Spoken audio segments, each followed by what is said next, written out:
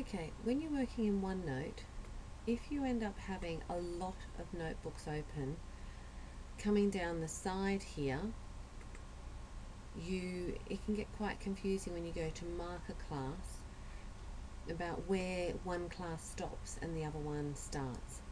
So what I've done is I've color coded my classes so that I can just go through and mark a whole class and know when I need to stop automatically. And it's actually quite an easy process, easy but a bit tedious.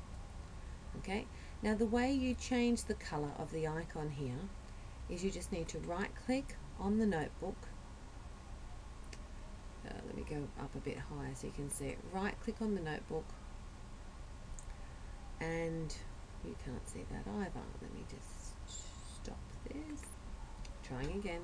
Right click on the notebook and go down to properties and then in the properties over here you can change the color now there's only 16 different colors that you can choose from and you can't change those colors but you get enough variety there that you can have a different color for every class that you teach